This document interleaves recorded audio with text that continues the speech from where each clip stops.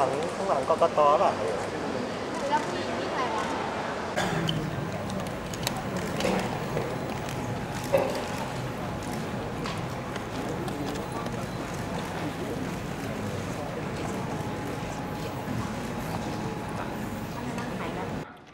เรียนกรรมการการเลือกตั้งที่ปรึกษาเพื่อเชี่ยวชาญ